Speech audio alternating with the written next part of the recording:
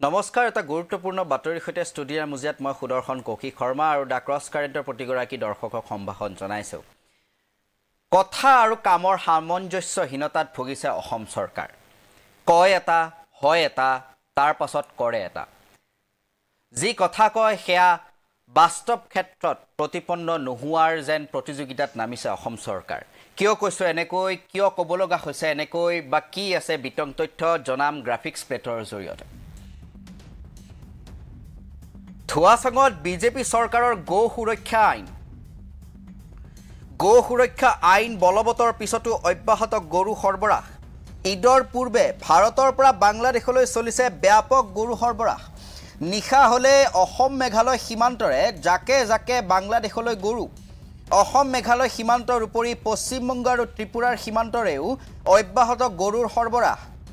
সীমান্তৰ বেৰ পাৰ কৰাৰ লগতে নদী পথেৰেও অব্যাহত আছে। ভাৰতৰ পৰা বাংলাদেশলৈ গৰু সৰবৰাহ বিগত দহ বছৰৰ তুলনাত চলিত বৰ্ষত বাংলাদেশলৈ সৰ্বাধিক গৰুৰ চালান।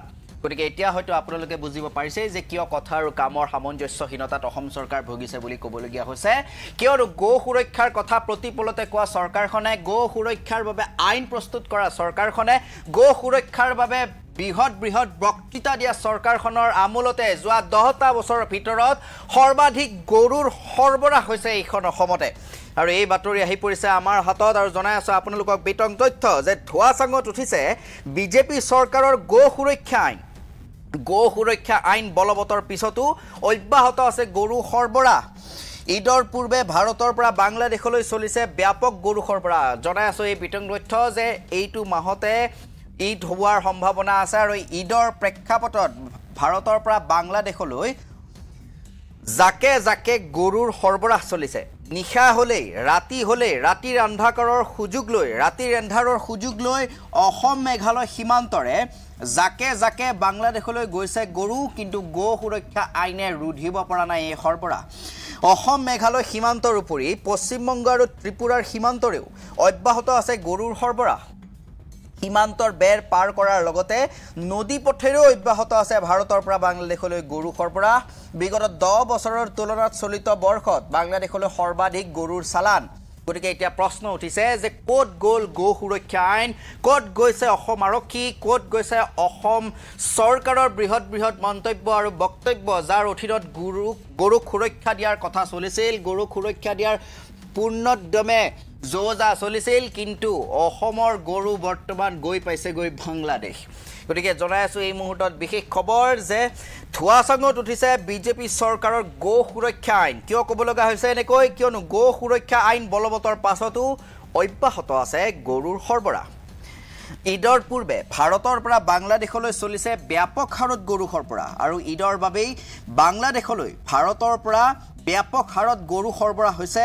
নিশা হ'লেই মানে ৰাতি হ'লেই। ৰাতি কিয়? কাৰণ অন্ধকাৰৰ সুযোগ ল'ব পাৰি।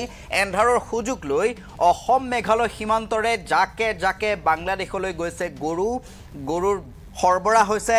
আৰু অসম মেঘালয় সীমান্তৰ উপৰি পশ্চিমবংগ আৰু ত্ৰিপুৰাৰ সীমান্তৰেও অব্যাহত আছে গৰু সৰবৰাহ।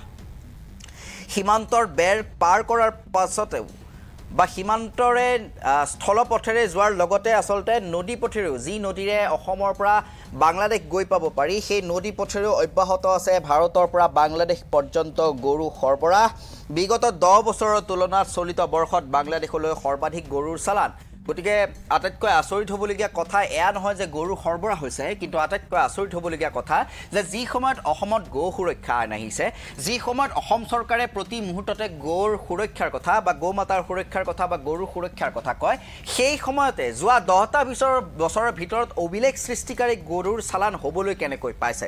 যোৱা দহটা বছৰৰ ভিতৰত অভিলেখ সৃষ্টি কৰি গৰুৰ চালান সৰ্বাধিক কেনেকৈ হ'বলৈ পালে এইখন অসমৰ পৰা?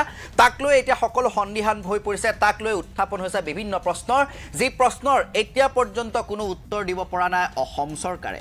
অসমৰ কোনো এগৰাকী মন্ত্ৰীয়ে মুখ্যমন্ত্ৰীকে আদি কৰি কোনো এগৰাকী মন্ত্ৰীয়ে দিব পৰা নাই উত্তৰ। কিন্তু প্ৰশ্ন নিতান্তই উঠিছে যে গৌ সুৰক্ষা আইন থকাৰ পাছতো যোৱা দহটা বছৰৰ ভিতৰত সৰ্বাধিক হাৰত কিদৰে অসম মেঘালয় সীমান্তৰে ৰাতি স্থলপথ আৰু নদীপথ দুয়োটাৰে গৰুৰ চালনা হ'বলৈ ধৰিছে। কিদৰে গৰুৰ চালনা সম্ভৱ হৈ পৰিছে তাক লৈ এতিয়া প্ৰশ্নৰ সৃষ্টি হৈছে। আৰু পৰৱৰ্তী সময়তহে এতিয়া গম পোৱা যাব যে চৰকাৰে ইয়াৰ কি উত্তৰ দিয়ে বা এই ক্ষেত্ৰত চৰকাৰে কি ব্যৱস্থা গ্ৰহণ কৰে। অথবা চৰকাৰে এই ক্ষেত্ৰত কোনো নিৰ্দিষ্ট ব্যৱস্থা গ্ৰহণ কৰিব নে নকৰে।